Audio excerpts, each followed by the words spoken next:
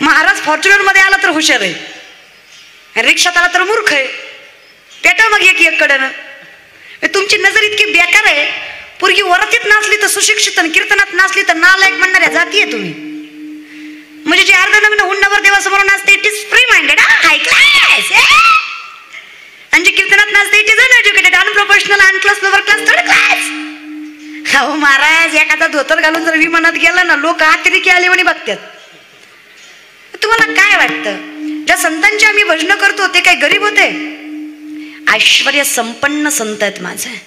आणि फक्त पैशाचं ऐश्वर नाहीये माझ्या तुकोबऱ्यांकडे ज्ञानोबऱ्यांकडे. जयाच्या द्वारी सोन्याचा पिंपळ अंगी आईसे बळ रेडा बोले. आणि संतांना चमत्कारिक समजा सोडून द्या.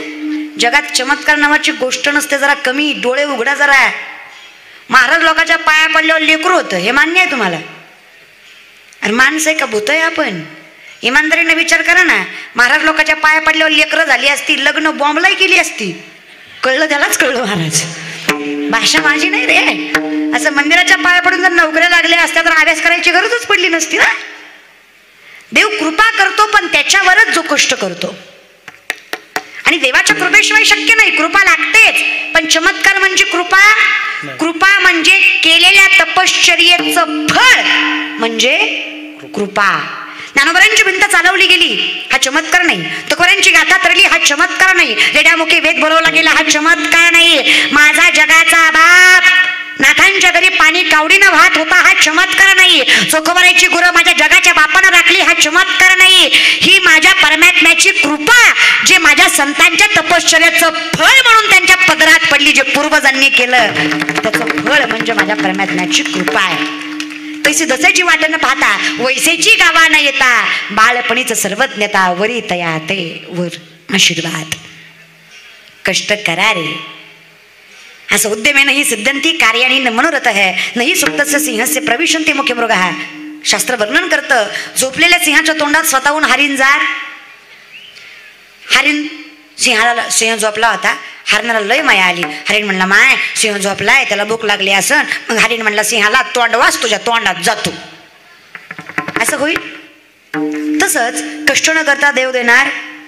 कष्ट करा. जे व्यापार करताय प्रामाणिकपणे करा. संसार करताय निष्ठेने श्रद्धेने करा.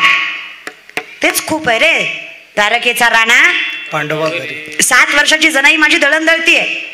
बेचाळीस माणसाचं कुटुंब परमात्म्याला हाका मारतीये देव येतोय. देव येतोय ग. सात वर्षाच्या लेकरासाठी देव येतोय.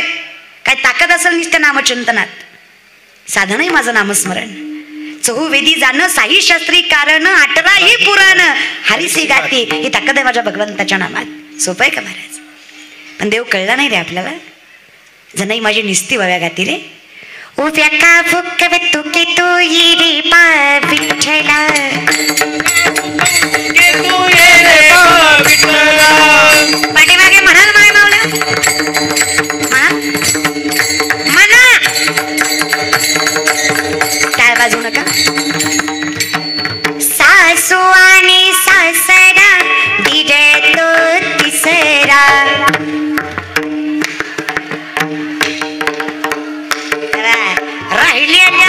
बाया तुम्हाला काय प्रॉब्लेम झाला? अगं आयुष्यभर शिव्या दिल्या एकदा तरी वाव्या म्हणा. एवढंच भेटलं तर भेटला.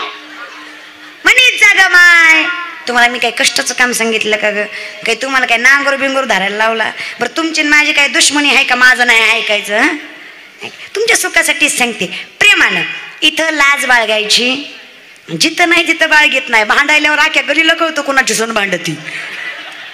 म्हणजे काय उलटे वागता माऊली? भांडण घरात असावं आणि आनंद दारात असावा. आमचं उलटच आहे. एकट्यात गोड बोलतात आणि माणसं बघू बघू भांडतात. मग कार्यक्रमच उलटा झालाय सगळा महाराज. जेवढी माणसं दिसतात तेवढा जास्त चिव येतो हिला महाराज. असं करू नका माय. प्रेमानं.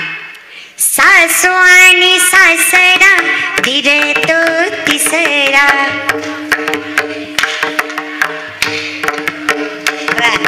उभ्या काब भरताडा तुझी रे पा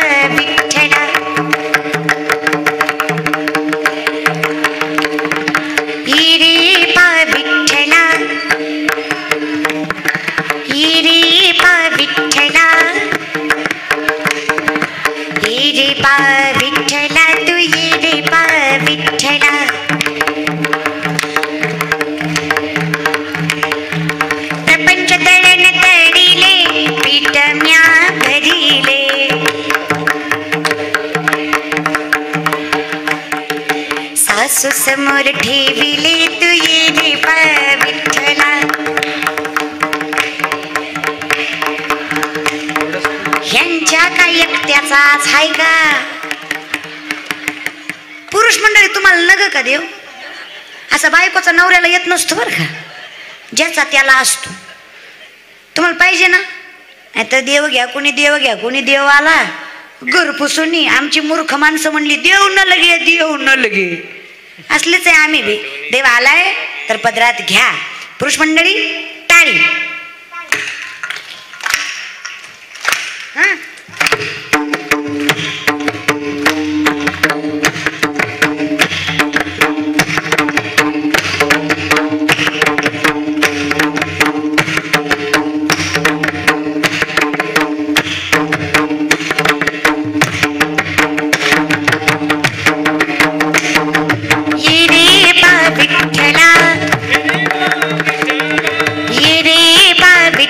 सगळे माय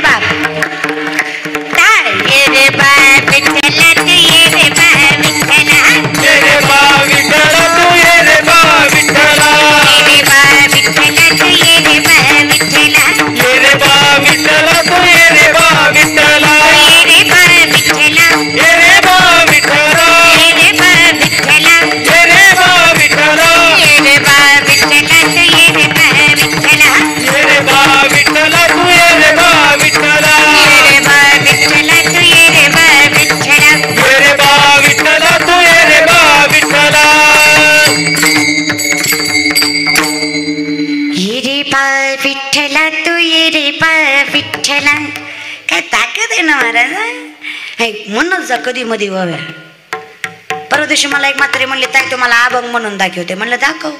तिनं अभंग म्हणला. आणि तेव्हा तुझ्या पायात गुतलं माझं मन रे.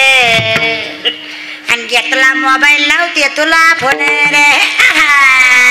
म्हणलं म्हातारीचा डायरेक्ट पर्सनल कॉन्टॅक्ट आहे विठोबाशी एवढी तर आमची ऐपत नाही माऊली. म्हणलं कुणाचा अभंग आहे? ज्ञानोबार आहे तुकोबार आहे म्हणली माझाच आहे. म्हणलं म्हातारी म्हणे स्वलिखित काव्यकार होती म्हातारी. म्हणलं पुढचं चरण. आणि देवा तुझी आठवण लागली ती म्हणे त्याला मिस कॉल देती. म्हणलं इथं मिस कॉलवर पोरगी पटना. हे इकडं देवाला पटवाय निघाले. इतका मी लो बॅलन्स परमार्थ करू नका रे. थोडा बॅलन्स टाका परमार्थ. हा? परमार्थ. ज्ञानावर अवलंबून नसला तरी ज्ञानाची झालरच परमात्म्याला साधं गोड आणि गोंडच करत कारण जोपर्यंत खरं ज्ञान कळत नाही तोपर्यंत देव कळत नाही. ज्ञानोबारांना खरं कळालं म्हणून माझे ज्ञानोबाराय म्हणतात योग याग विधी नो नोहे सिद्धी वायाची उपाधी दंभ धर्म हे जे दिसतंय ते सगळं असत्य आहे. इथं माझ्यासाठी एकच पर्याय खुला आहे. जिथं माझ्या मायबापांनी ज्या गोष्टीसाठी आम्हाला जन्माला घालावं आम्ही तो वारसा चालवावा. मग आम्ही ज्ञानदेवी वैष्णव मोठा विठ्ठल नामे मुक्त पिठा. जिथं महाराज वर्णन करतात की ज्ञानोबार आहे वैष्णव आहेत तिथं आम्ही तुम्ही कोण नाकारणार आहे? मग आम्ही म्हटलं ज्ञानोबार आहे. अहो साधक तुम्ही. योगाचे साधक तुम्ही नामाचा उच्चार का करता? ज्ञानोबाराय म्हणतात. तिने मुक्तीचारी साधी आल्या याच्यापेक्षा द्वारकेचा रान पांडवा घरी. हे जर श्रेष्ठ असेल तर हरिमुखे. म्हणा. सोपं आहे ना? तुका म्हणणे सोपे आहे. शहाणा तो धनी. घेतोस. पण वर्म चुकलं की फेरा. मग सोपे वर्म आम्हा सांगितले. संगती. मग एक माणूस एका महाराजाकडे गेला. आलात का जागेवर? कशाला गेला? एक माणूस एका महाराजाकडे गेला. कशाला गेला? गाडी चहा पाण्याला थांबत असते. सोडायची गाव येऊस तर? नाही सोडायची. लेकरू मागाय गेला. कशाला गेला?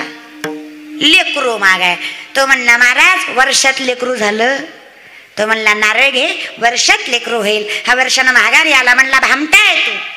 वर्ष झालं लेकरू नाही. महाराज म्हणला दुसरं घे पण माणसात बुंबुळू नको. दुसरा दिला महाराज. हा दोन वर्षानं आला. म्हणला पक्का वामटे तू. मी सगळ्यांना सांगत असतो ह्या जाणार खोटे. महाराज लागला घाबरायला महाराज म्हणले बाबा बऱ्यापैकी माझा नारळ फसला नाही र. तुझ्या बाबतीत दोनदा फसला तुझंच काहीतरी चुकतंय. अचानक महाराजाला आठवलं. महाराज म्हणले का रे? जेवढी माणसं माझ्याकडे लेकरू मागाय आली सगळी बायको घेऊन आली तो दोनदाही एकटाच आला.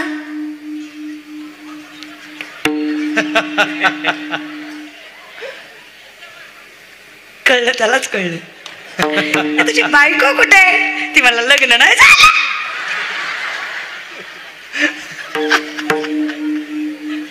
सॉरी पण तुम्हीच सांगा किती नारळ दिल्यावर लेकरू होईल? मग मी सांगते किती भजन केल्यावर देव भेटेल? नाही इथे परंपराच लागते म्हणून आम्ही म्हटलं ज्या परंपरेमुळे आम्हाला हे भजन मिळालं माझ्या वडिलांची मिरासी का तुझी चरण सेवा हो सरदाराचं पोरग हिंदवी स्वराज्याचं स्वप्न बघतं. सरदाराचं पोरग हिंदवी स्वराज्याचं स्वप्न बघतं. मग माझ्या जगाच्या पोषणद्याने स्वतःच्या साम्राज्याची स्वप्न बघू नये का या थटात जगणारी माणसं. जिथं महात्मा बसवेश्वरांनी सांगावं की परमात्म्याच्या देवळाला जायला जर वेगळ्या वेगळ्या रांगा लागतात परमात्म्याच्या देवळात जायला जर वेगळ्या वेगळ्या रांगा लागतात व्ही आय पीची वेगळी मध्यम वर्गांची वेगळी कनिष्ठ जातीची वेगळी ब्राह्मणांना वेगळी असं जर असेल तर मग तो तिथं बसलाय तो देव खरा नाहीये. कोण म्हणतायत? महात्मा बसवेश्वर म्हणतायत प्रत्येक लाईनीने जर देव वेगळं वेगळं भेटत असेल तर बसलाय तो देव खरा नाही. मग मी काय म्हणतो? मी माझ्या हृदयालाच देव बांधतो ना. म्हणून इष्टलिंग ज्याला लिंग पूजा म्हणतात लिंगायत धर्मामध्ये. मग महात्मा बसवेश्वरांनी इष्टलिंग आपल्या हृदयामध्ये स्थापन करावा. हा कशासाठी? की त्यांना खरं ज्ञान माहीत आहे. त्यांनी या समाजाला सांगावं. तिथल्या देवाला जर वेगळ्या रांगा लागत असेल तर खरा देव इथं जो कायम आपल्यासोबत आहे जो तिथेच असला पाहिजे. हे ज्या महापुरुषांनी तुम्हाला सांगण्यात आयुष्य घालवलं आम्ही त्यांची जयंती करून नेमकं काय घ्यायचं? इतिहासातनं आम्ही काय घ्यायचं? धर्मभेद. आम्ही शंभूराजे काय ऐकायचं? कशासाठी? आजचे दिवस चालू आहेत ज्याला बलिदान दिवस आपण म्हणतो. चौदा मे पर्यंतचे दिवस चालू आहेत ज्याला बलिदान दिवस म्हणतात.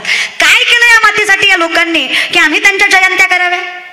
त्यांच्या जयंतीला एवढ्या थाटा माटात मस्तपैकी भजन करावं कीर्तन करावं का?